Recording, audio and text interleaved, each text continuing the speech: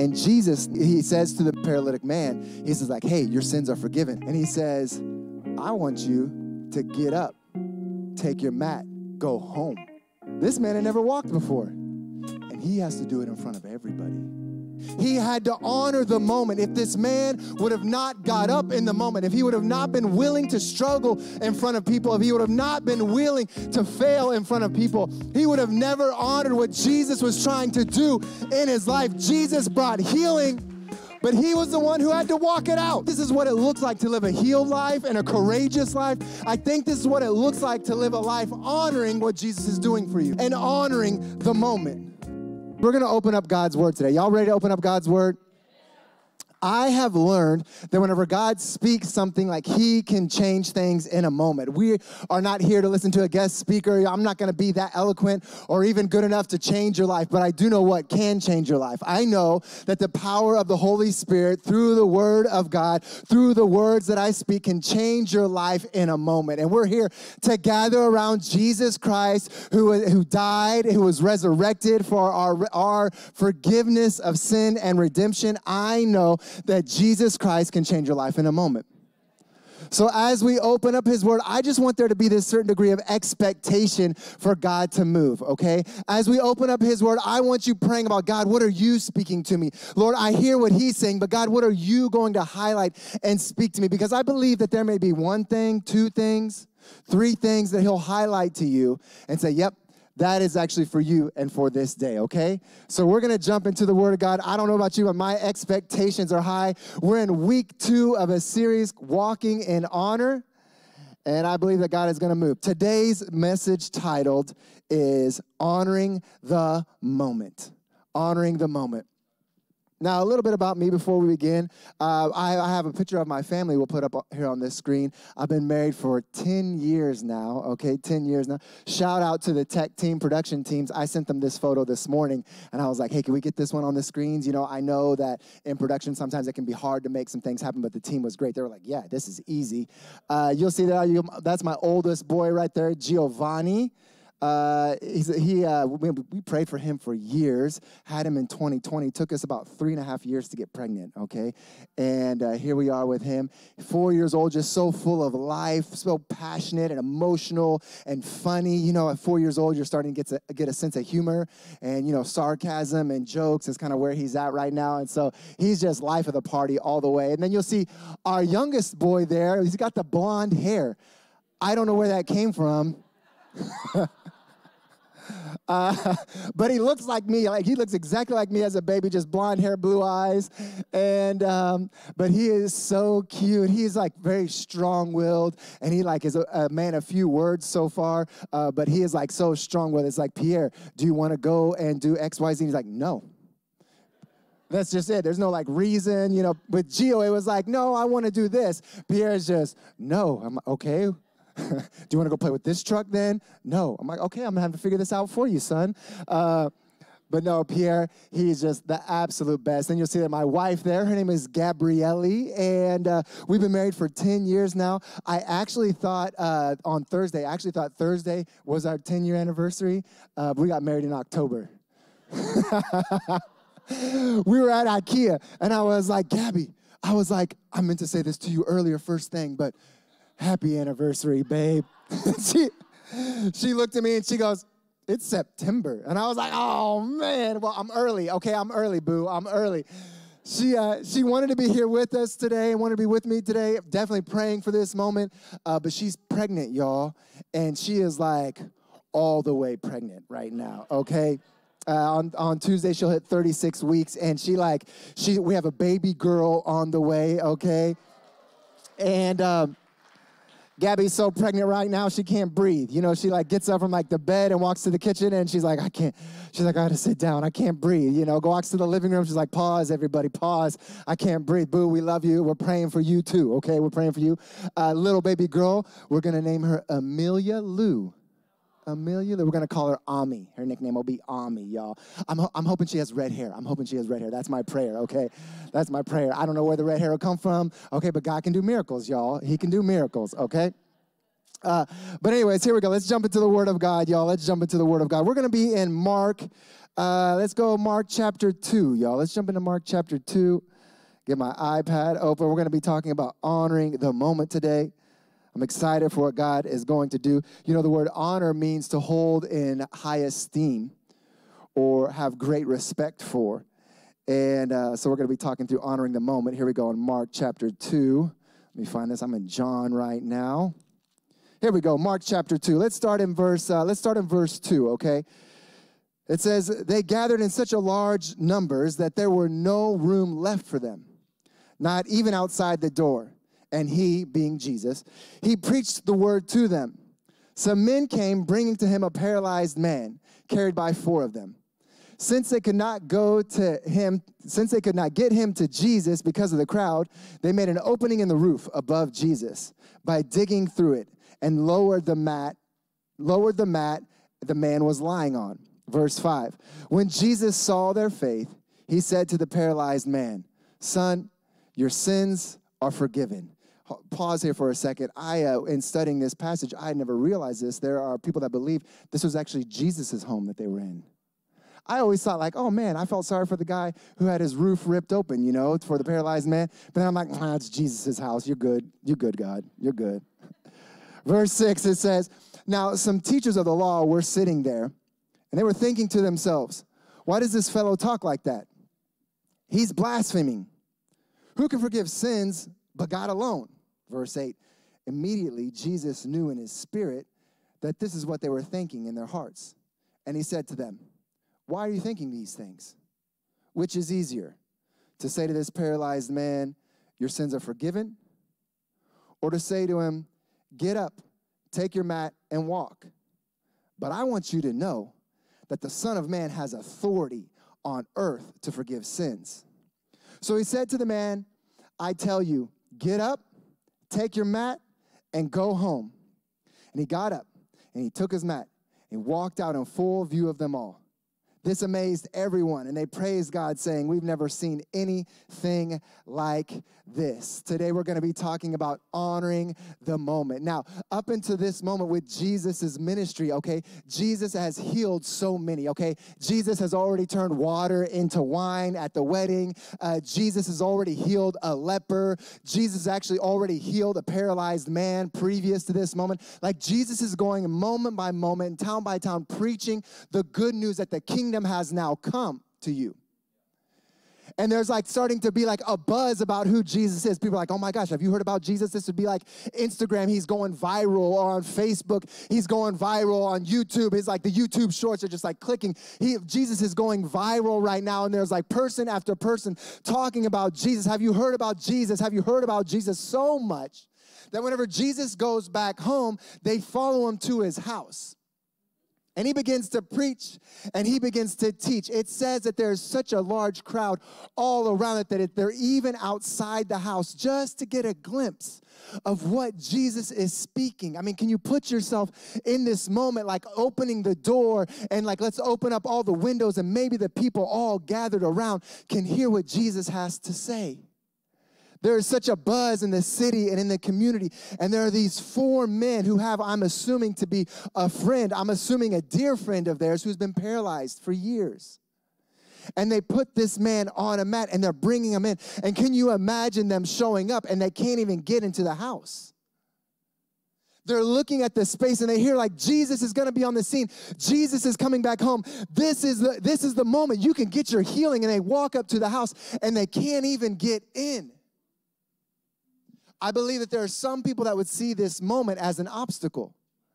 But the beautiful thing about these four men is they actually saw this obstacle as an opportunity for God to do something special. They took this man, and I don't know how they fought through the crowd. You know, like I don't know were they rude or were they polite, but they got through the crowd, the crowd with their paralyzed friend and on a mat, and they're like pushing their way through, and they can't even get into the door. So they, they grab a ladder and they climb up on top the roof. And the Bible says that they actually like were digging through the roof to get their friend through obstacle as an opportunity? How do you and I see pushback? How do you and I see obstacles? Do we look at these moments and we're like, oh man, this is the everything is the devil, the devil, the devil? Or do we look at obstacle and think, oh no, no, that means God doesn't want me to do it? Here we see these four men seeing obstacle as opportunity. They knew who God was, they knew who Jesus is, and they were like, if we can just get our paralyzed friend to Jesus, he can heal him. We're believing for the miracle. I love the faith of these four men. Like I'm telling you, um, you need some friends like this in your life that are just a little bit crazy. They just kind of like have some like good, like you know, you never know what the really what they're gonna do. You know, I wonder if this man was like, no, no, come on, guys, you can't you can't rip a hole in Jesus's roof. You know, like this is Jesus's roof. Nah, man, we got you. Okay, you got to get your healing today. You got to get your healing today. But I wonder how many other sick people were in this space and they showed up to hear Jesus and they had faith to believe for Jesus to do a miracle, but they wouldn't fight through the crowd to get to him. How many people pulled up on the scene and got to the scene where Jesus was, and they were like, oh my gosh, the house is full. I can't get in. I'm just gonna go home. Healing is not for me. This is too hard. This is too difficult. I'm not going to press in to Jesus. I wonder how many people were in this space, and because they didn't press through, they actually didn't get from Jesus what they needed to get. I wonder how many sick people were outside the house. And because a whole bunch of healed people were inside the house, they couldn't get in. I wonder how many healed people were saying, Nope, I'm not gonna give up my seat for someone else to get healed. I'm good. I wanna hear what Jesus has to say. I'm not leaving this space. I wonder how many people were in the room are not gonna make room for one more person. Here you see all these different dynamics playing out. I can just imagine some of the commotion and the buzz of Jesus being in the space. And finally, these gentlemen, they rip open the roof and they lower the mat of this man lying on the mat. He's paralyzed and they lower it through. And Jesus pauses. I mean, ripping a hole in the roof is pretty distracting. so at this moment, you kind of gotta you gotta acknowledge what's happening, okay? And he looks at this man, and what does Jesus say to him? Your sins are forgiven. Your sins are forgiven. Why did Jesus say this to this man?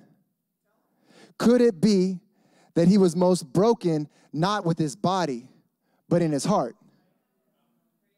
Could it be the most damaged part of this man was not his legs that didn't work, but instead a soul inside of him?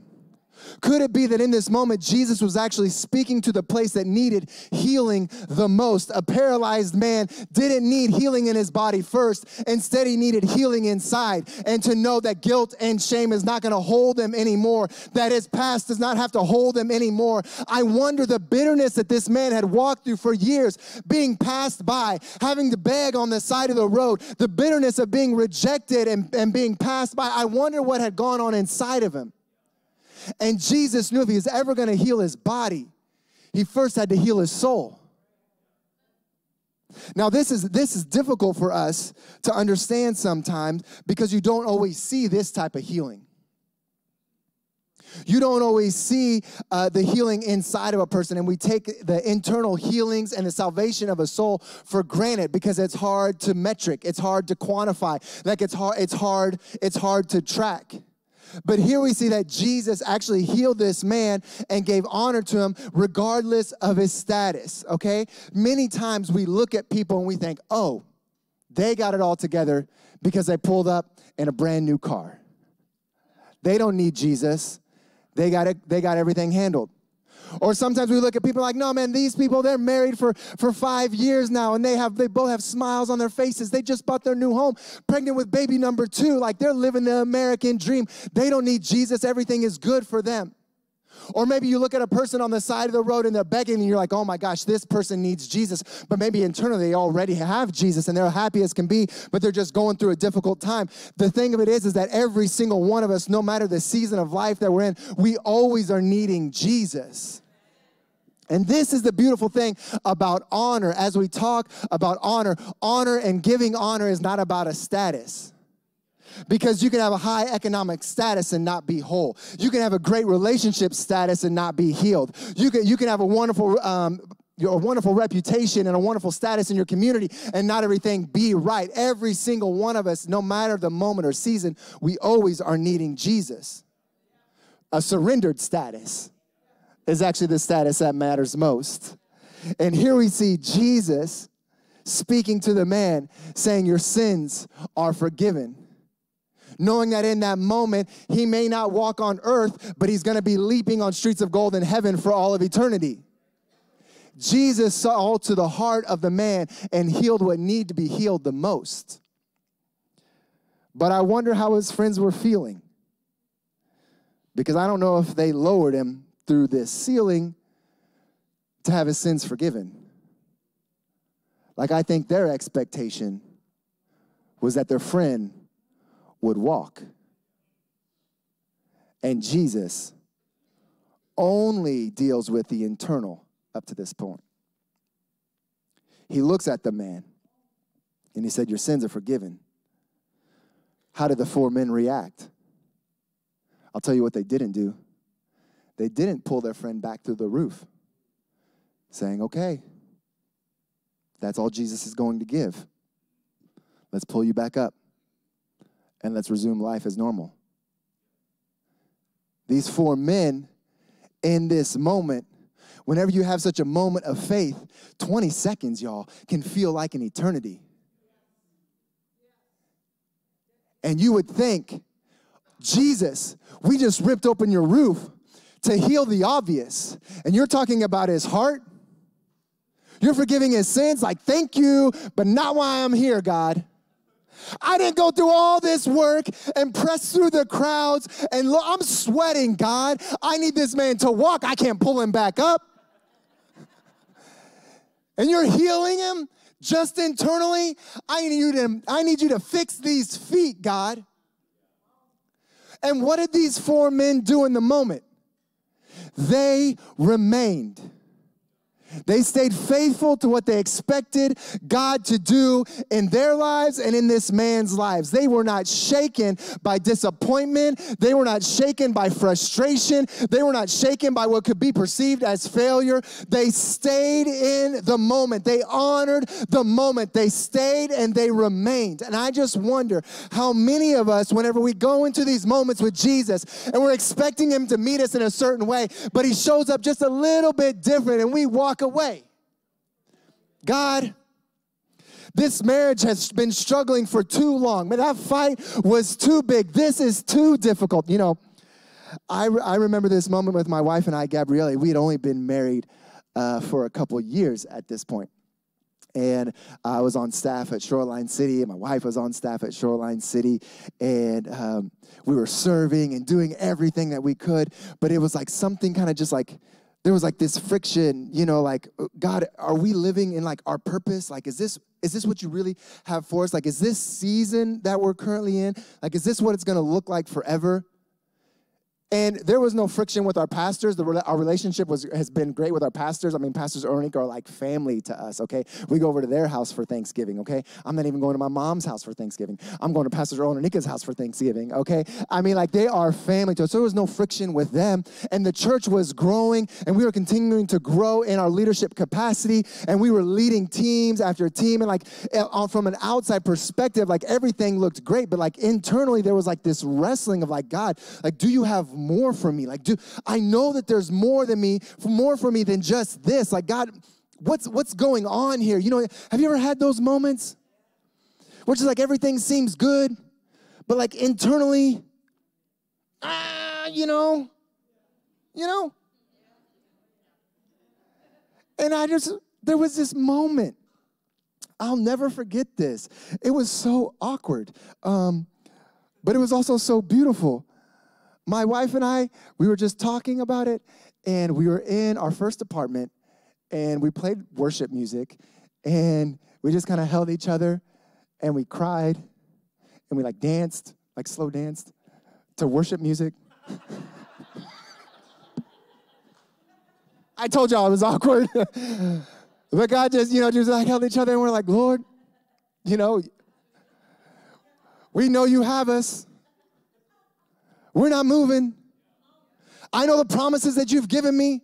I, when I gave my heart to Jesus Christ at 19 years old, like you gave me some promises, and I'm not gonna let go of these promises. Like right now, like it doesn't feel right. There's like this friction inside, but I also know this is not the end of the story. I also know that this is just a season. I also know that this is just a moment, and I'm gonna remain no matter how difficult the pain may be, or the confusion may be, or the offense may be. I'm not gonna be moved, I'm gonna remain.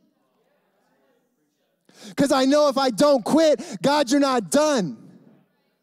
You can continue to move. And I'm just not going to let those things, I'm not going to trade in those things that I don't know for what I do know for what I don't know. Like I'm not just, I'm not willing to give it up because I know you have a purpose. I know you have a calling. I know you have a destiny. And so this is what I would say, church family. I would say, do not give up. Do not be, do not be removed from your post. Do not let offense move you. Do not let, let any kind of confusion move you. Do not let a battle that you're in right now move you from what God has called you to do.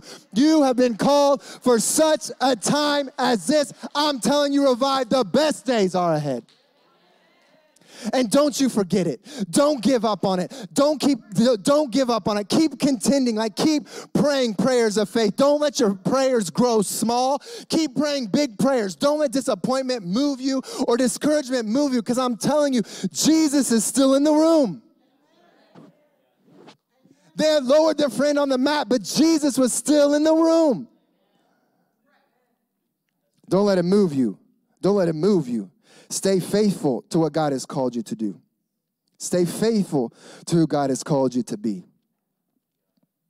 Now, here is something that's really interesting in this moment because the story kind of takes a pause here. And Jesus now starts to address the room.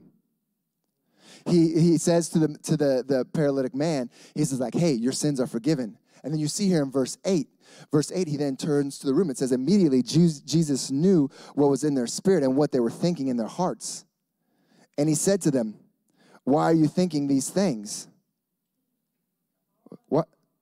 Why are you thinking your th- these things? Which is easier to say to this paralyzed man, Your sins are forgiven? Or to say, Get up, take your mat, and walk? What, why are you thinking these things?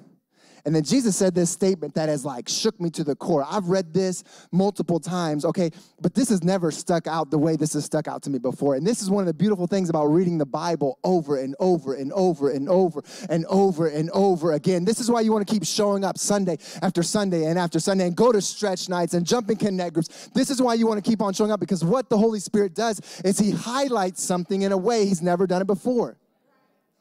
The, word of God is alive and it is active. It's sharper than a two edged sword. And as we're gathering together, we're not having an expectation on me. We're expecting for God to speak and that his spirit would speak through his word. And you see here in this moment, in this verse, verse 10, it says, But I want you to know that the Son of Man has authority Revive Church, I just want to remind you today that the Son of Man has authority. Jesus has authority. You may have 99 problems, but Jesus doesn't have one. He has authority. Like this is who he is. What does Jesus have? He has authority. He is Alpha. He is Omega. He is the beginning. He is the end. From the beginning of all things, He was still I am. And no matter what you're going through, no matter the strife or the circumstance, no matter what your marriage may look like, no matter what the doctor report may look like, no matter what your job may look like, no matter what your friend groups may look like, no matter how crazy your kids are acting, no matter how difficult it may be in the community, Jesus has authority. He is not giving it up. Jesus doesn't have doubt. Jesus doesn't have worry. Jesus doesn't have an empty bank account. Jesus has authority. For you and for me, He has authority. And He can heal your body, He can heal your mind. He can heal your emotions. He can cause you to stand up. Jesus has authority to forgive sins. You feel guilt, you feel shame, you sinned this past week, there's still forgiveness in the cross of Jesus Christ. You are not too far away. This is the scandalous thing about the cross of Jesus Christ is that it can reach into the heart of every single man or woman no matter how far you have ran from God. He is still pursuing you every single step of the way. Jesus has authority. Why are you thinking these things? Why are you thinking these things? Why, like, why are you thinking these things? I just, though I just found myself like, Eric, why would you ever doubt? Like, Eric, why would you ever struggle? Is God good? Like, Eric, why would you ever feel like, Lord, do you see me? Do you know me? Do you feel what I'm feeling? Like, do you know the things that I'm thinking? Lord, do you see the struggles that I'm going through in this moment? Like, but Jesus is saying, why are you thinking these things? Why, why, like, why, why, why, Eric? Like, why are you thinking these things? Church family, like, why are you thinking that Jesus cannot handle what you're going through? Why would you ever feel like Jesus cannot pursue that son who has been running from, from God for years? Why would you ever feel like Jesus can't heal your cancer? Why would you ever feel like Jesus can't handle your doubt? Why, like, why, why would you ever feel like you're not seen? Why, why would you ever feel like you're not cared for? Why would you not feel like you're not valued? The cross has already declared your value. Why would you be thinking these things? Why, why would you wrestle with these things? Why, why are you thinking these things? And I just want to remind you that Jesus Christ has authority and He is in control of every season and every single circumstance. I want to look every single person in the eye and remind you that Jesus has authority over your life and every season and every difficulty and every moment. He has authority over your finances and He has authority over your business and your company and your friend groups. He still has authority and He is for you, He is on your side, He is called you for such a time as this. The calling and the purpose that is on your life has not been moved. He is with you. He hears your prayers. He sees the tears every single moment. Jesus is with you, and He has not lost authority. He has the power to heal and to save and to redeem and to bring back together. He has the authority of it all. This is the Jesus that we serve. He has authority. You know, the interesting thing, you know, Jesus, uh, whenever he, uh, you know, he rose from the grave and he's now speaking to his disciples, he says, All authority has been given to me. And then what's his next word? Go. Go. And here you see in this moment, he's talking to this paralyzed man. And he reminds everybody in the room, I'm the one that has the authority over this moment. Your doubts don't dictate what's going to happen to this man. Your fears don't dictate what's going to happen to this man. The room, y'all may be a little funky, but it doesn't matter what, what Jesus is wanting to do with this man. And here you see Jesus now turns to the man and he says, I want you to get up, take your mat, go home. Get up, take your mat, and go we read this, and typically whenever you see this moment, like in your head, you know, you're like, sorry, I'm gonna bend down here, okay? You're like, the man's like this, and Jesus is like, get up, take your mat, and the guy's like, ooh. Roll it up. Thank you for fellas. Um, excuse me, excuse me, excuse me. Is that how y'all saw it in your head? Because that's how I've always seen it in my head. You know, like it's just like whoop, you know, like just walk right on out. Deuces. I don't need to hear anything else from Jesus. I'm good. He told me to go, excuse me, excuse, you can get your healing too, excuse me, excuse, you know, just walks with like this new confidence and swagger. But here's the thing this man had never walked before. He had to walk in front of everybody. He didn't know how to walk. He didn't know how to do it. Ooh. Have you ever been there? Y'all. Jesus tells you to do something, and you're like, I've never done that before. Mhm. He does it all the time. Okay, God does this all the time. It's frustrating, and I've just learned. Um, I've learned to appreciate it and be scared at the same time and try to have enough courage, you know, uh, because it leaves room for the Holy Spirit, and that's why I'm not God, He's God, you know. So like He keeps telling me to do things that I can't do. Lord, complicated, but thank you. but here you see Jesus tells this man, "Get up," and he has to do it in front of everybody. You know, we say, uh, uh, you know, uh, I get to one of the teams that I lead um, is our service department, and uh, we get to, you know, uh, worship tech production, and so we do a, a service run through an hour before service, and so because we say like we don't practice on people, and so we like we make sure that we're prepped as we come into it for a Sunday morning service, but this man couldn't practice by himself on how to walk. He had to just do it for the first time in front of everyone. And his four friends, they couldn't help him. They're on the roof. They're like, bruh, you got it. Come on. you got this one, man. Come on, man. You better get up. You better get But what if he wouldn't have? What if he would have said back to Jesus, I don't know how to, I don't know how to get up. I don't know how to walk. I think this uh, this moment probably looked a little bit more like, you know, just sh- shaky. You know, it probably fell a couple times. He's like, y'all mind your bit. Don't make fun of me. Don't y'all mind your business. I'm trying here. You know. He probably fell. He's using muscles he's never used before. He's using muscles he never had before. Oh, oh, this this is what it's like to have calf muscles. Oh, okay. Oh, this is what it's like to have thigh muscles. I never knew. Stands up. Then he's got to bend back down to pick up his mat because he can't leave his mat. Because Jesus said, pick up your mat. Jesus, you're complicated.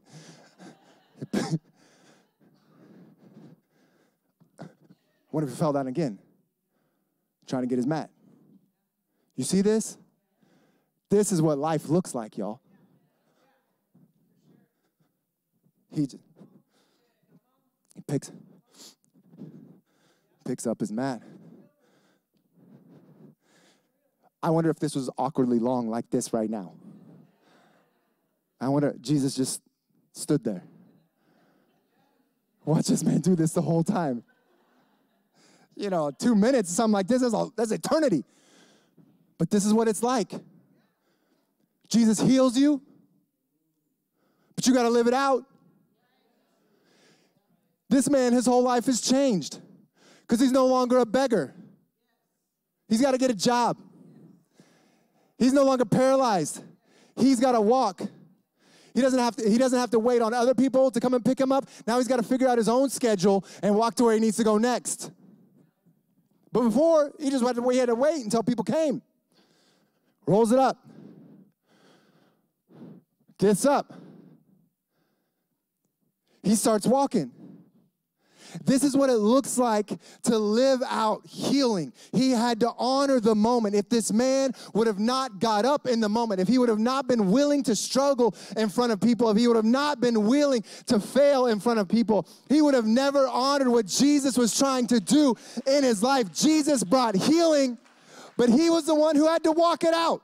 And I wonder, I wonder how shaky these first steps were. I wonder how awkward it all was. But I think this is what it looks like to live a healed life and a courageous life. I think this is what it looks like to live a life honoring what Jesus is doing for you and honoring the moment. I've never had to deal, deal with conflict before. I've always just like, I've always swept it under the rug. But a healed me has to deal with this conflict. I, have been married for years and we've never prayed together. And I'm nervous to pray with this woman. I'm nervous to pray with this man because we've never prayed together. But a healed me has to do it. I, have I've never served in church, but a healed me has to serve in church. I've never trusted God with my finances. I've never tithed. I've never went above and beyond. I've never given in a stretch offering before. But Jesus has healed me and I have a testimony it looks a little bit awkward as I'm trying to. I've never, this feels weird. It feels weird to give, but Jesus, you've healed me and you've blessed me. Jesus, I'm gonna, I'm gonna give. Like healed me has to do it. I've never trusted God in the way I've trusted Him. I've never lifted my hands in worship. Y'all, the first time you lift your hands in worship, it just feels weird, okay? It's not weird, but it feels weird, okay? I've never lifted my hands in worship, but a healed me has to do it. I've, I've never taken off my mask in community. I've always lived a guarded life and I've never really let someone in. But you know what? A healed me has to do it. I've never done these things where I've been afraid to fail in front of people, but a healed me has to do it. I've never gone through res- um, resolved conflict. I mean, every time that I've gotten into disagreement with my wife before, I give her the silent treatment for three days and then we act like it never happened. But a healed me has to do it. I've never woke up early and served my kids and made them breakfast before, but you know what? A healed me has to do it. I've never showed up to a connect group before. This is weird, church people gathering on a Wednesday. I want to watch some basketball on a Wednesday or a Sunday night. I want to watch football or Saturday morning. I want to watch football. But you know what? A healed me has to do it. And if you're wanting if you're wanting to be the person that God has called you to be, you're gonna have to take some steps that you've never taken before. And you need to be okay with it being awkward, and you need to be okay with failing, and you need to be okay with falling because you need to have this conviction on the inside of you that Jesus has healed me, and a healed me has to do it. I can't live the same as I've lived before because I'm different. I wonder if Jesus would have never healed this man's soul and forgiven him of his sins, if he would have ever felt like he was worthy of walking. I just wonder.